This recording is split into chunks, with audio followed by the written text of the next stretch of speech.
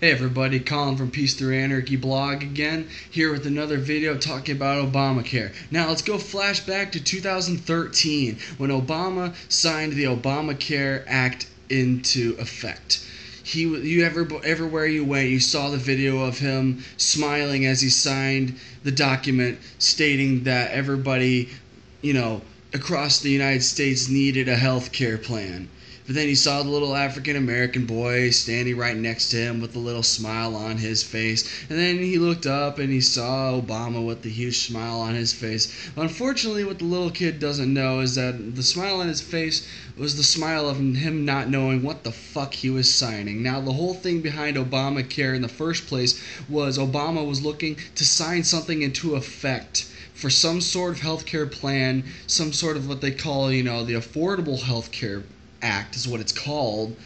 Um, and so he was looking to do something like that. So he stopped and he thought to himself, you know, how can we do this? So he brought in his cronies and said to them, give me a bill and I'll sign it. And then his little crooked ass cronies went to work like the little working elves they are. and they wrote up this thick piece of paper, this thick document that stated you know everything that you see now which is from you know if you don't have the health care you know they're going to charge you like $95 you know for the first year that you don't have health care then it's going to go up and up and up and up.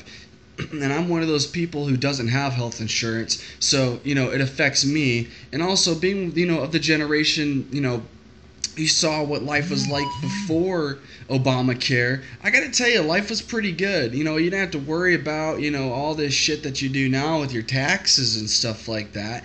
But it was just one of those things, too, where it's like, because the, you know, the reason why we didn't need health insurance is because we, t- we took care of ourselves. That's just plain and simple. The only reason why people needed health care in the first place is because of medical conditions passed on from family to family member, you know, that kind of thing. And then there's just the people who straight up just don't know how to fucking take care of themselves. You know, people who just don't care about their body. They want to destroy themselves, you know, then it ends up putting them in an early grave. And that sucks. That's the only reason why people, you know, need health insurance and quite frankly you should be penalizing those people and not me. I'm a fucking vegetarian. I know how to take care of myself. And the, the worst part about all of this is is that you know the healthcare the healthcare companies and big pharma it's all just a big fucking business now. It's not like everything was back in the old days where you had a doctor or like you know a shaman you know somebody like that in the old villages and the old towns and stuff like that who just came to you know the aid of the people because you know know that's what the people needed.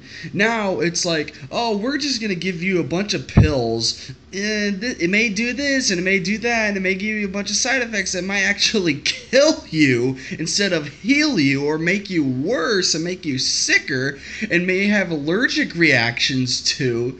That's what it's come down to in this country. We're not fucking trying to do medicinal herbal remedies. You know, the big industries are rejecting medicinal marijuana and cannabis oil and so on and so forth.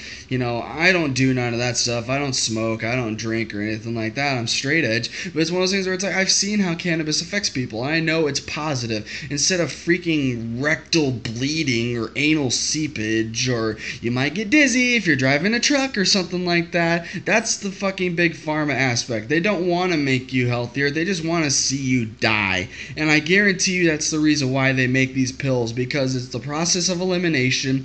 They just want to thin out the herd, make it so that more Americans who freaking don't trust the government, who don't trust big pharma, they want to weed those people out and make the people of America who do follow the government, who do support the government, make them even more mind controlled sheep than they already fucking are. And that's basically your medical system here in the United States in a fucking nutshell.